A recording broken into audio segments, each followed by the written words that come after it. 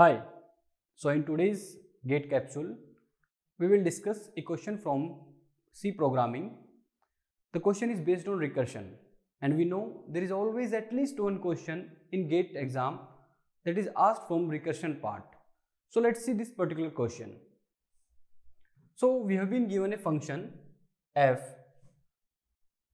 This is the given function and this is some coding part and we need to find out the value returned by f3879.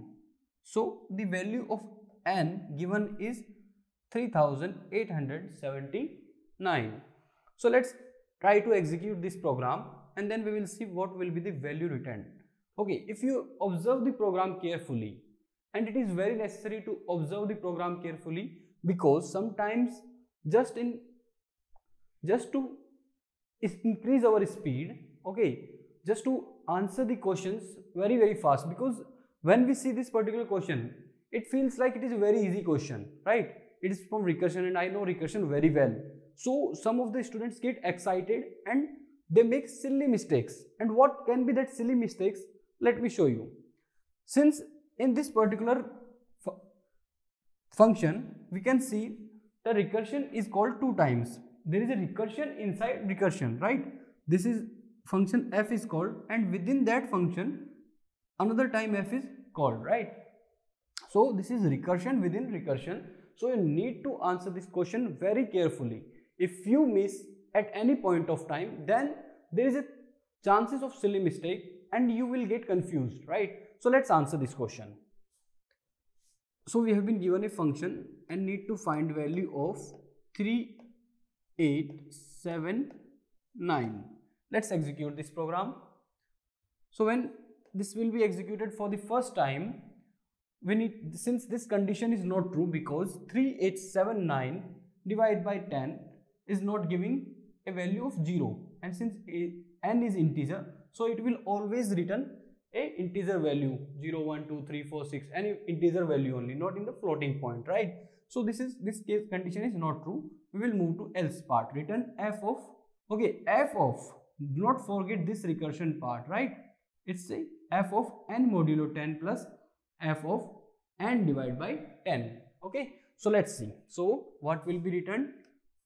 F of n modulo 10 n modulo 10 is nothing but 9 plus f of 3879 divided by 10 the integer value will be 387 right? So when executing this particular function for the next time. Let's see. F of 9 plus f of 387 modulo 10 is nothing but 7 plus f of 38 again f of 9 plus again f of 7 plus again f of 8 plus f of 3 now at this particular point of time at this particular point of time this condition becomes true. This if statement becomes true because 3 divided by 10 is nothing but it will return 0 only right? Because n is integer right? So this will be now this statement will be executed written n modulo 10 so 3 modulo 10 is nothing but 3 so this thing will be returning 3 okay so this function value becomes completely f of 11 now start the execution again.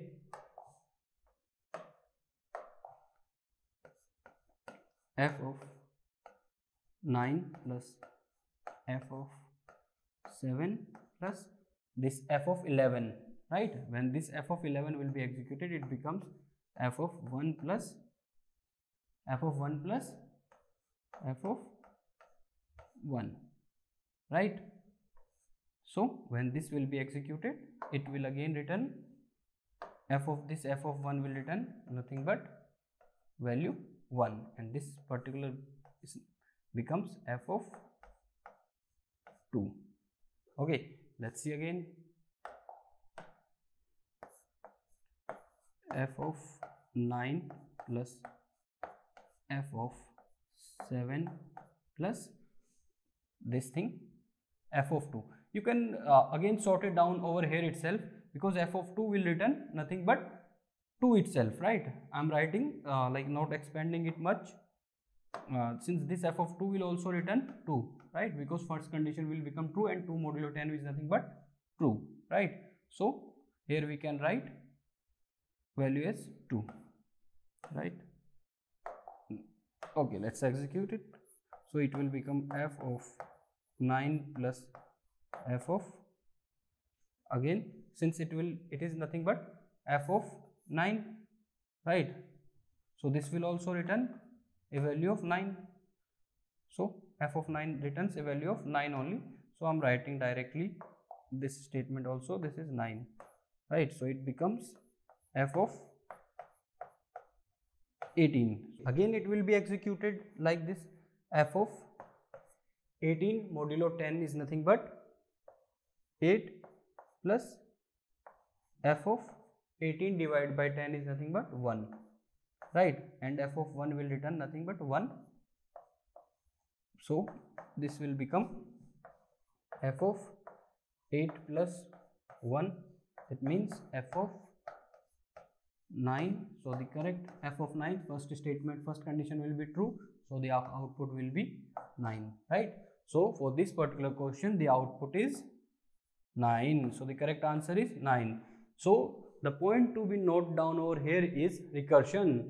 Since two times recursion is called so while executing this particular this lengthy process it may happen sometimes that you miss like misguided at some point of time right while calculating the function again function then because it is function within function right? Recursion within recursion. So some such miscalculation can happen. So be careful while answering such type of question right? This type of question generally asked for 2 marks. So if you commit a single mistake right if you get answer of 9 or 10 instead instead of 9 if you get 10 then simply minus 0 maybe no may not be negative marking but simply you lose a marks of 2 marks right or 2 marks or 1 marks. So be careful while answering the questions of programming right? Thank you